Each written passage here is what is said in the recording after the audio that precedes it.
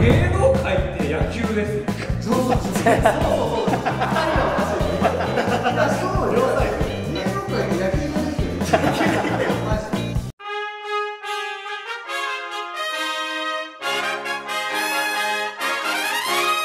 ティモンディの。ベースボール TV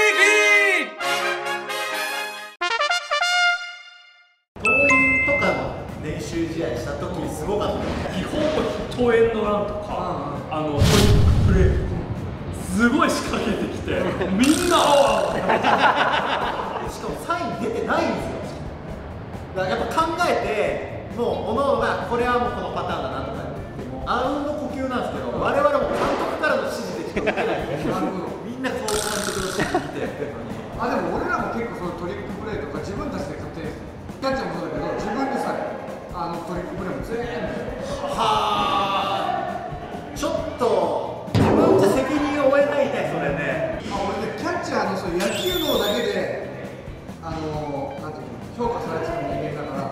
ケースバイケースの瞬発力が良くてそこをずーっとこう評価されてたの。だから俺が作ったサインが今まであるんです。よへああれだ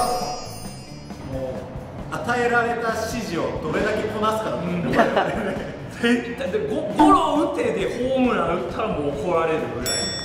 もう全部ちゃんと守るホームラン打てって言われたらホームラン打たないと怒られる。マジで？ホームラン打てってなる。サイン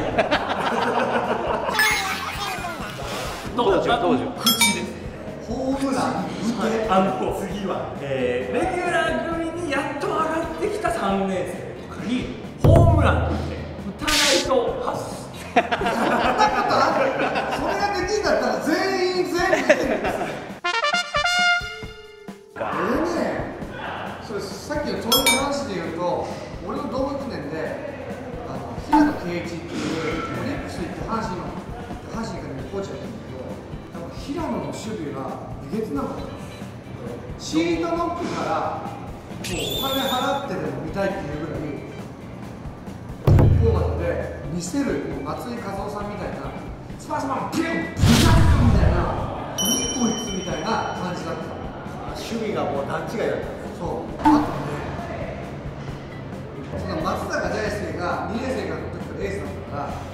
俺はもうあいつが首振っても俺首振り返してたの。ードが自信あったからあそれ投げれませんって言ったらいや無理無理無理。無理いやわけわかんない。ターンもあったら無理無理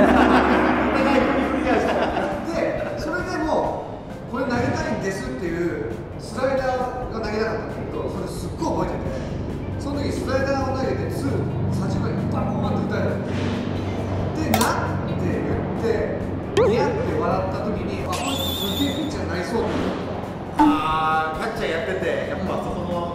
の、まあ、意志の強さ意志の強さをあこいつめちゃくちゃす。げえピッチになりそうっていうなんか思ったのを覚えてる高岸は高校上がった時にカーブがす。ごい良かったでまっす。ぐとカーブでって言ってる中で新しい球種を覚える何を覚えてるとそうです。ずっとカーブだけって言われてたのを封印してスライダーを投げなさいでそしたら結果どうなったじゃあカーブ投げれなくなって封印投げ方分からなくなっちゃった大学行ってフォークを覚えろって言われてスライダー投げれななんで一個で一個形式なんだよ高岸からじゃあまず何か聞きたいことはいもちろんありますねゆうすけさんの夢は何ですか？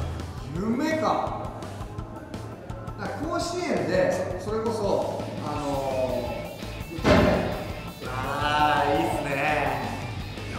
甲子園でのわんぱく野球話聞きたいで嬉しいね、だから横浜スタジアムでホームランスタンドぶち込んでそれをライブやったことあるの嬉しくね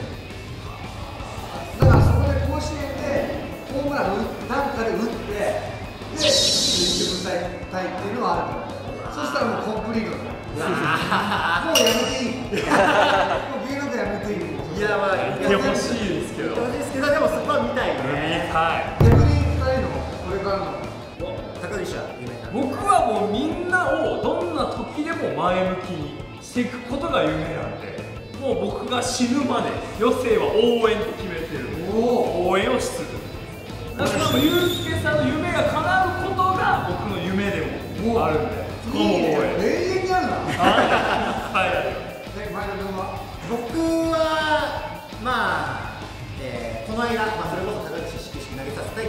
っていうのが一個叶ったので次はなんか高岸に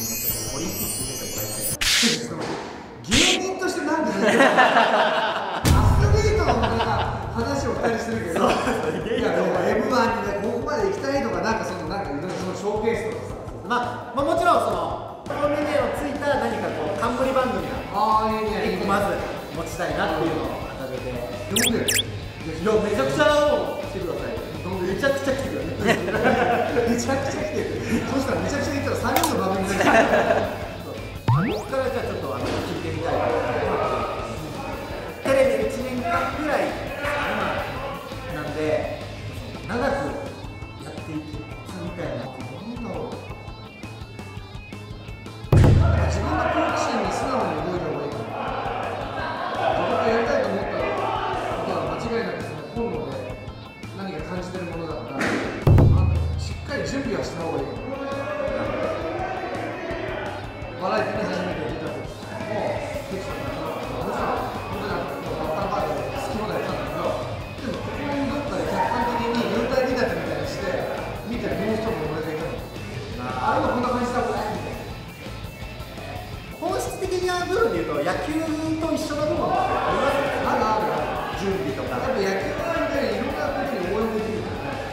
芸能界って野球ですよそうそうそう。そうそうそ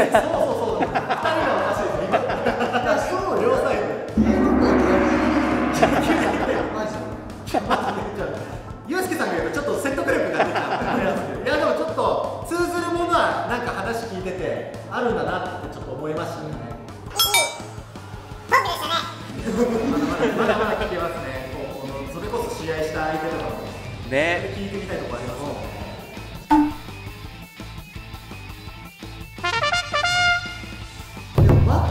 ッターは元が一番すごか。ったああそうなんです。かあのゴメゴメスって呼ばれてる今楽天のコーチ俺の1個下1年でシーズン入ってきたのやっぱ期待されてた期待されてたで俺そのキャッチャー丹波さんが亡くなってその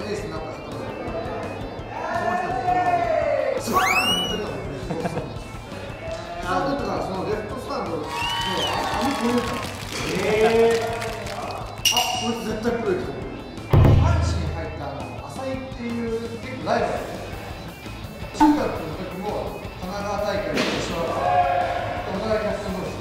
で。で、高校入ってもまた応援行って、キャッチャーやってたけど、ピッチャーだった。浅井のスライダーすごい覚えてる。今回が中日だ、モデル選手ですね。スリーラーミスタースリーラーそうでしたその俺の一個上の時に勝負したんだけどうちの監督があのランナーがいないのに外せって言った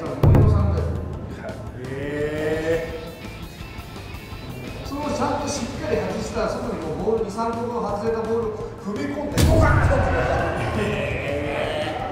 あやっぱこの人えげつないわ。すごいな。それはプロ行くわと思いますよ。